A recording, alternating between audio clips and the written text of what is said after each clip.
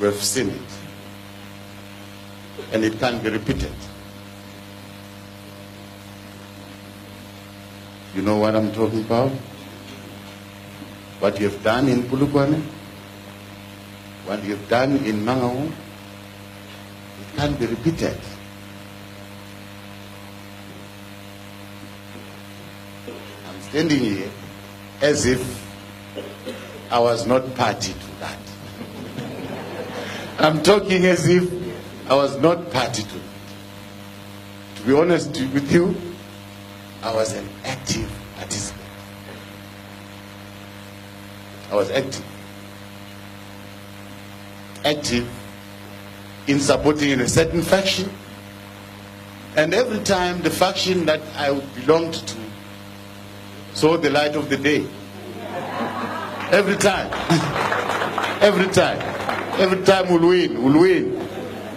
Only to realize the damage. Hey, we have caused such a huge damage.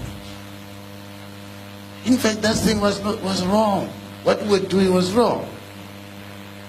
We could have tried to unify the movement rather than entrenching factionalism. So today, factionalism means a no. People can't live outside factions. Even where they talk, umuya ngabona umunye emenomunye uthi akhulumani labaya? Eh, sebaphila i-faction.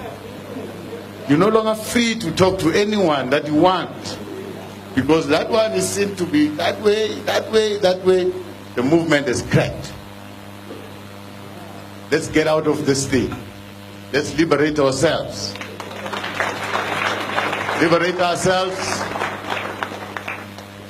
go back to basics your values, value system. I'm talking to young people.